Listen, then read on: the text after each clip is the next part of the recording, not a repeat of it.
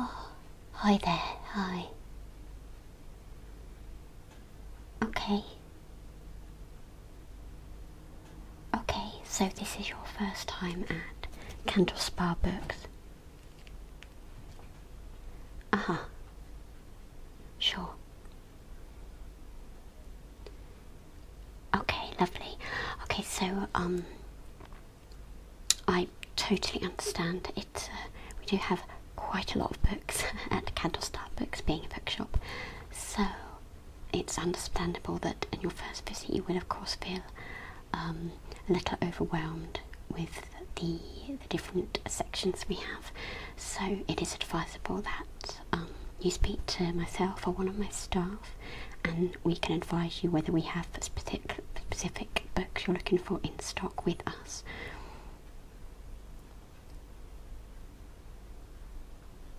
Okay, is that something you'd like to do? Okay, lovely. So you do have um, you do have a list, do you, of books you're looking for today?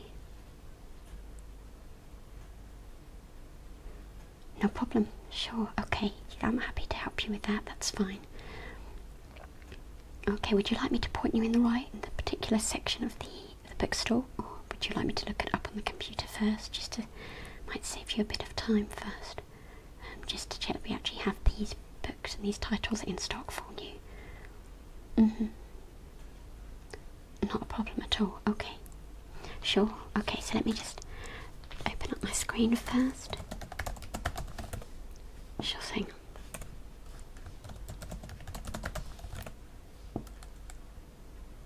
Okay.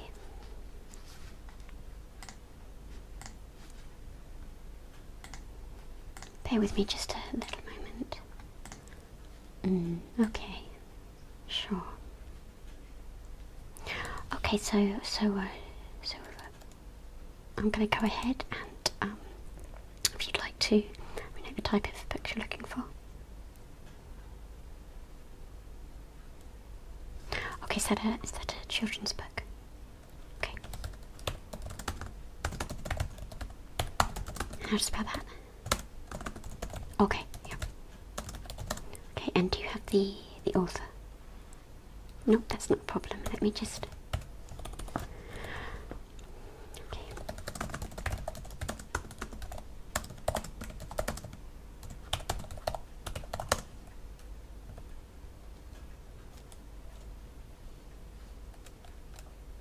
Okay, it's just looking.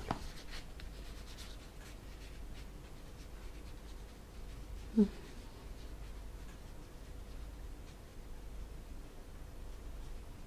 Okay, it does look like this particular title's in stock.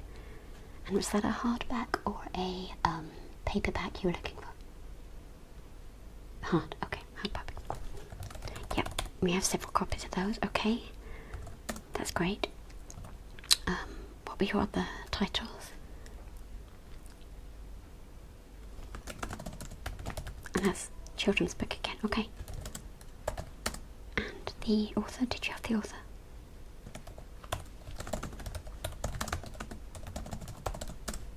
Okay.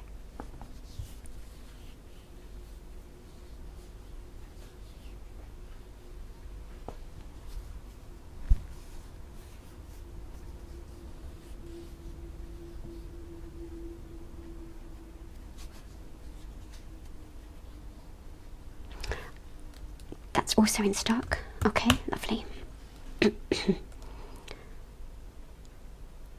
okay.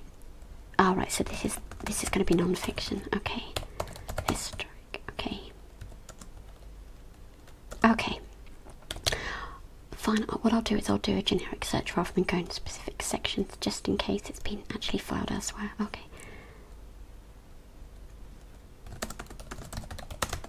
Street. Okay. No problem. The author. That's fine. Um, publication date. Sure. Lovely. Oh, yeah. That's that was a quick hit. Yes, that's been. We have that too. And the other one, please. That sounds familiar, actually. Um, let me just check.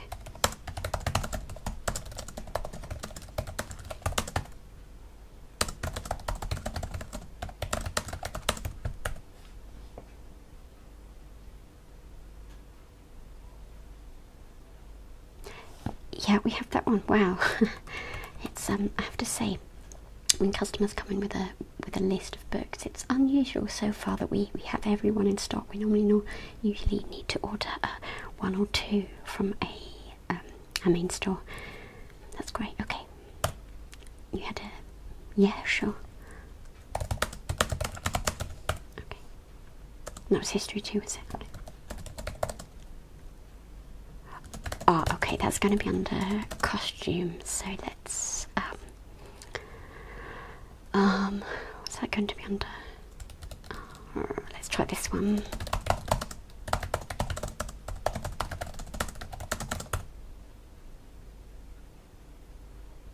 Hmm.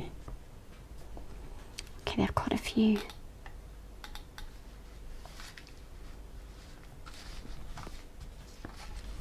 Let's, just get these excess away. Okay, they have quite a few copies of this, but I'm not sure if it's the right one you're looking for. Um, do you remember the authors? Mm, okay. Uh, yeah, there's about 10 different uh, books the same under the same section, similar titles. Mm-hmm. What kind of, um, do you remember the layout? Do you remember the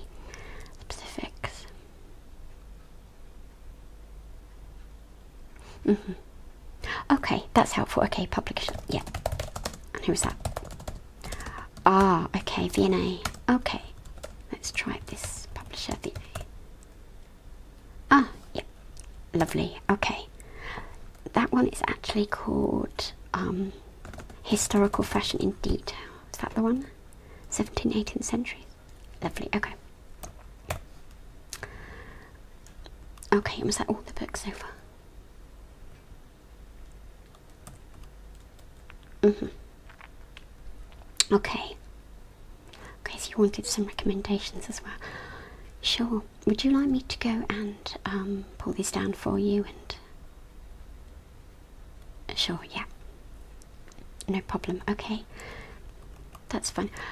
Absolutely. I mean, it's it's um, what we like to do here. Really, it's the at Candle Spa Books. It is it is the personal touch, of course, rather than um, or some some customers, of course, like to browse um, and be left to their own devices and relax in an armchair and have some latte or whatnot.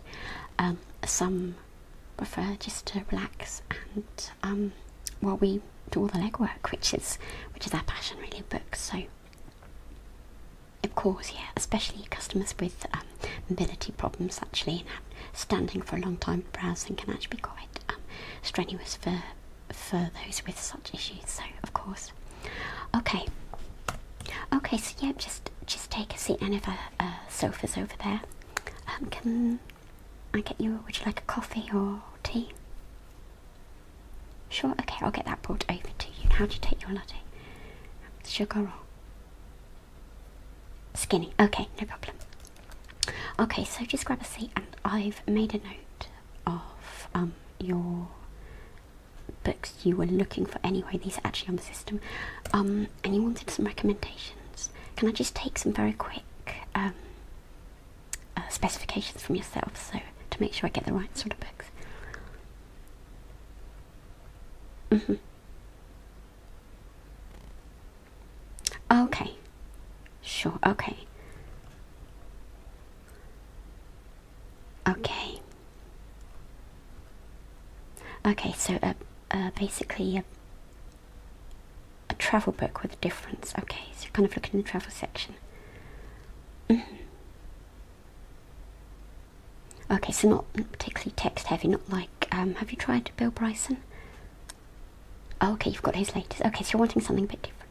Okay, something something more um, visually beautiful. Is that is that the? I, okay, lovely. Okay, I've got a few of these already actually. Um, and is there any other particularly particular book recommendations you were, were looking for?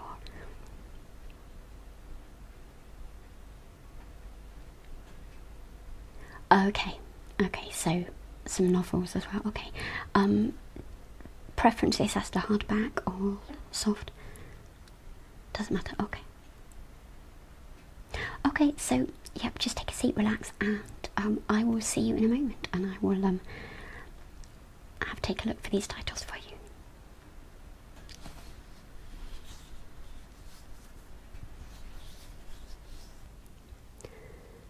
Hi again. Okay, um, thank you for waiting, and um, I've brought with me a selection of titles, most of which um, you specifically asked for, which I was able to source and uh, put out for you, and uh, the rest of them are my personal recommendations based on your specifications and preferences. So um, sit back, relax, and I will just go ahead and I'm going to go through some of the titles that I've chosen for you. Oh, and um, this is uh, the bookshop cat Rosie, who's very literate. Okay, so uh, this you wanted uh, historical novels, and um, this is one of my personal favourites, um, and it's by a lady called Clare Clark. And Clare has actually written. Um, she's a historical novelist, historical historical fiction novelist, I should say. Um, Clare has written um, several books, but I think this is one of her best. Um, it is set in the 18th century, or the 17th, I should say. And it's about a young girl who finds herself pregnant and is sent to London, um, where she's promised that a physician will be able to sort it out for her. Um, however, this physician is not where he seems, and um, he does a series of experiments on her. So it's a very dark novel, uh, absolutely incredibly compelling, shocking, um, unexpected, with lots of twists and turns. Um, actually, I discovered this when I was on holiday, um, and I wanted a good holiday read, and I read it within two days. And I was on holiday abroad in a non-English speaking country, and I just happened to stumble across an English speaking bookshop, and this jumped out at me. Uh, I'll read the back uh, if you'd like, yeah? Okay, so 16 year old Eliza Tally arrived in London with a swollen belly and a mother's scolding ringing in her ears. There is a man, she's been assured, who will cleanse her body of her disgrace. Yet when a twisted apothecary Grayson Black takes Eliza into his house, he has plans for his charge that have little to do with charity or purity.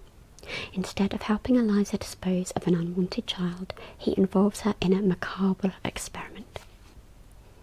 Alone and friendless in the shadow of the newly rising dome of St. Paul's Cathedral, Eliza must somehow escape Black's monstrous clutches. But Black is not a man to be thwarted easily. So, um, is that something you might be interested from purchasing today from us?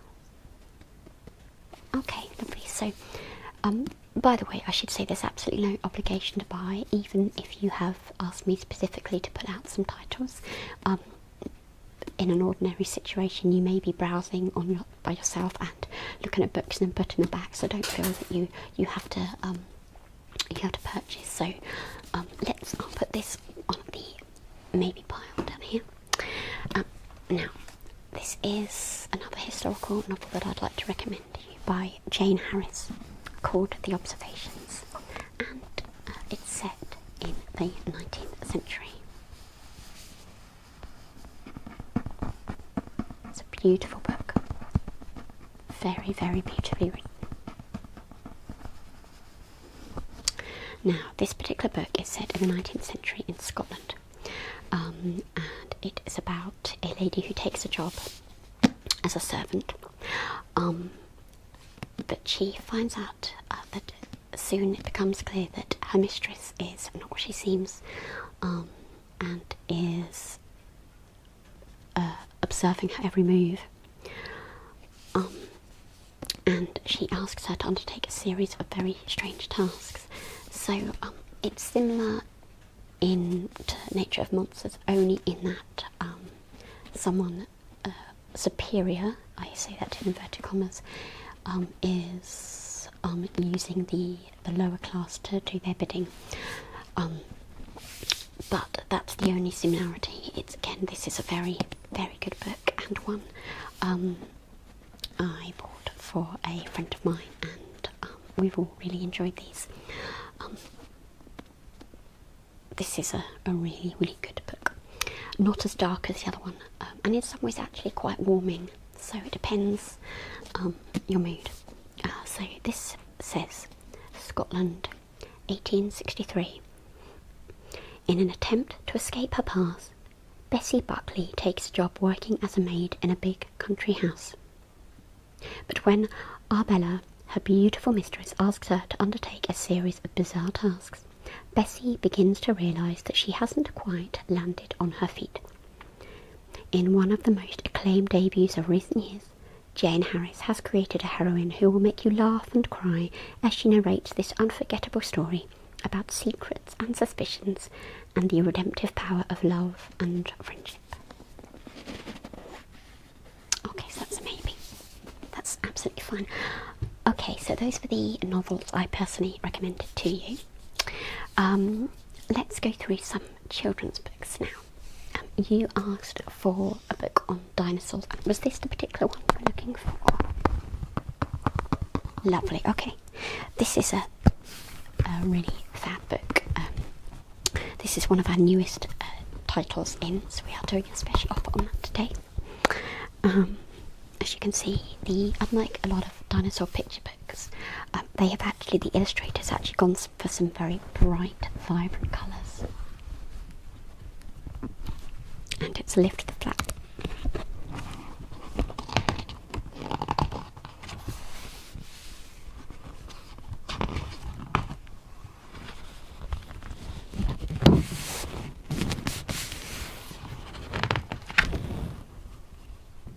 Now, what I particularly love about this book, and I, I any child will too, is it's a lift of that book. Um, it's very much a educational, informative book. So it reads like a story. It's engaging, but it gives you little dinosaur facts um, that the child will remember for a long, long time to come. Look up here. And what I particularly like about it is that the dinosaurs aren't the painted in the way that most illustrators paint dinosaurs in browns or greys or rusty reds, very vibrant colours.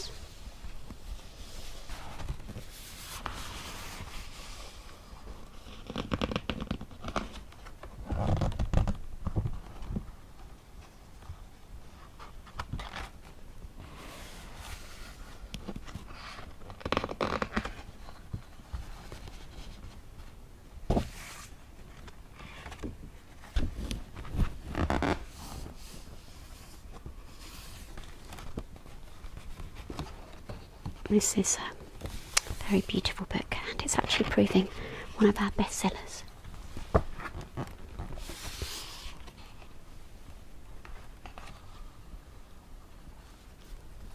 So, yeah, I would say um, I absolutely believe uh, two, a two-year-old may well enjoy this, but in a very different way to, say, a three or four-year-old. Um, but specifically, it's aimed at uh, three and a half.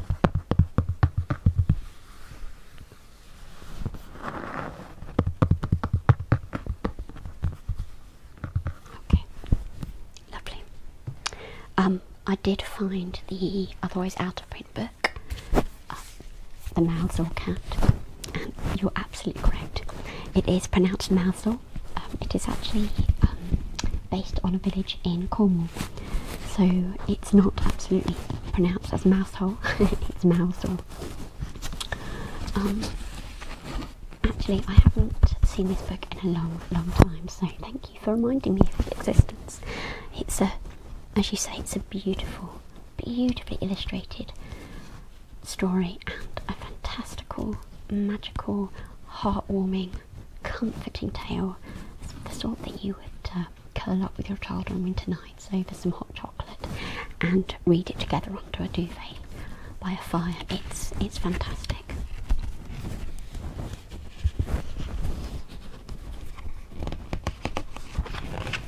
This is um, timeless. Pictures are absolutely beautiful, and as you know, it's about um, a fisherman with a cat called Mouser.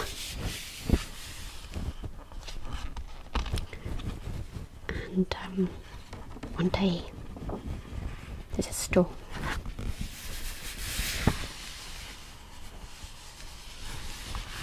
And no one can go out of the port, out of the harbour to fish. And their fears are that the village would starve. But Tom and his cat Mouser brave one winter's night, brave the seas, go out on a tiny boat.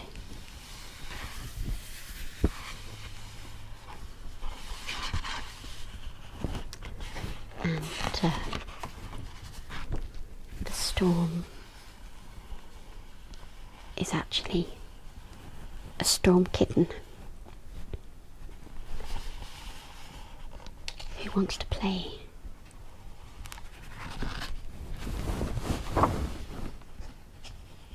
With the ships.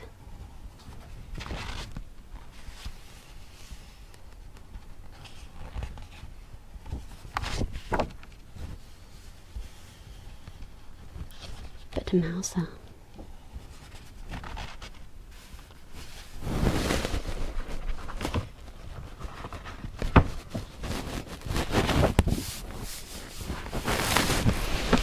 Mouser tames the storm kitten.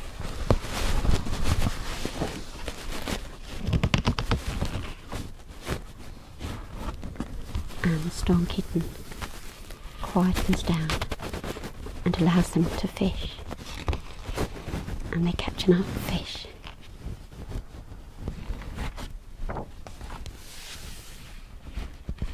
To feed the village.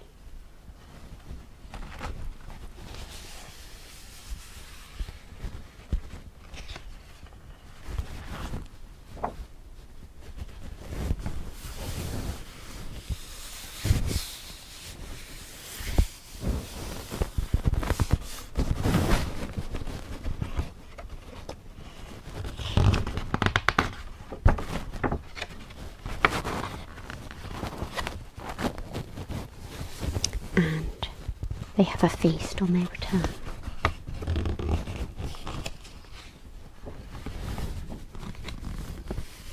And all the cats of the village of Malthor have their own feast. And that is how it ends. It's a wonderful winter's night type of tale.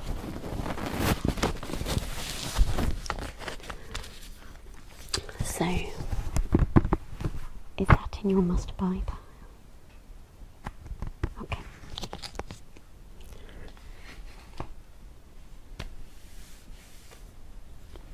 Okay, the last few books is this was the one we had trouble finding historical fashion in detail, 17th and 18th century. Um, you know, you seem very familiar with this book. Um, it has it has absolutely fantastic pictures close-ups of costume the clothes that were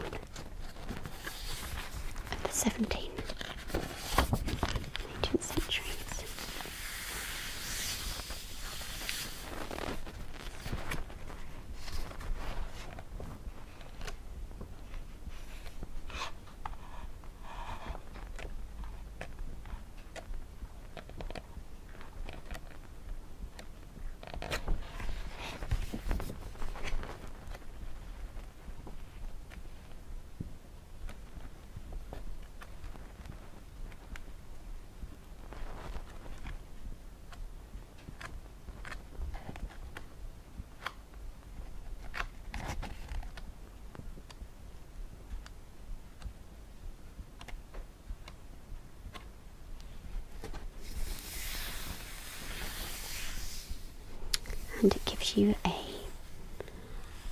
artist interpretation impression of how each item of clothing, each garment was worn.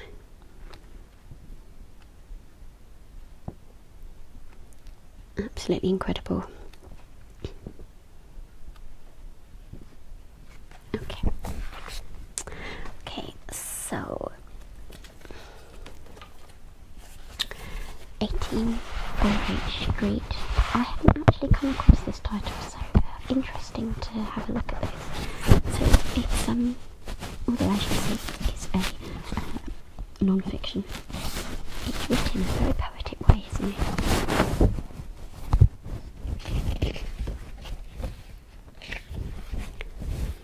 The, writer was a very eccentric um, American who came over to England, fascinated with the 18th century. Oh, there's a note in there. Um, and determined that the house he bought would be enjoyed by members of the public. And that as they visited his house, it would be more than going back in time, it would be becoming part of the scene. So every room would feel as if the ghost of the past had only just left. The fire would be in the, lit in the grate, half eaten apple on the side, perhaps a spilt glass of wine. Quite incredible story as to how he came to create this. So, um,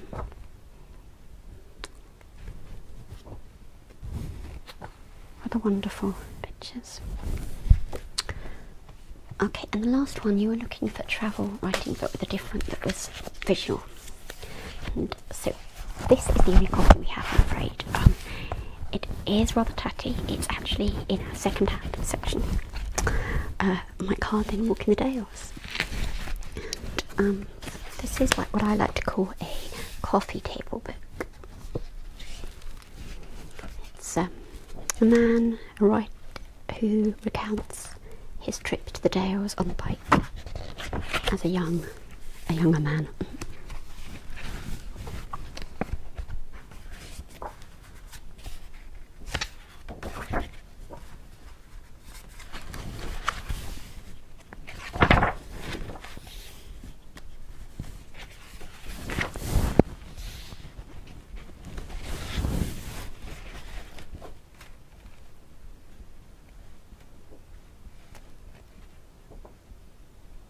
Is this the kind of thing you were hoping for? That's a very inspiring, beautiful read as much as informative. Lovely. And because actually this is second hand, um, this won't be the price, normal price for a hardback.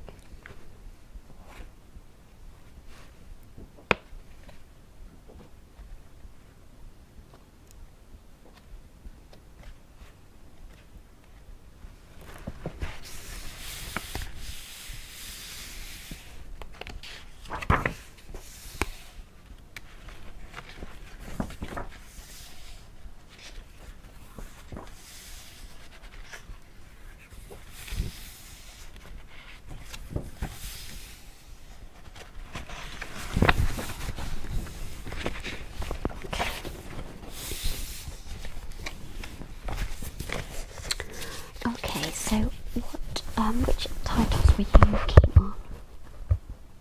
Oh, all of them. Okay, that's lovely. Okay, um, so what I'd suggest now is if you take these titles to my colleague, um, at the desk over there, and through the till. Um, and it was just lovely to meet you, and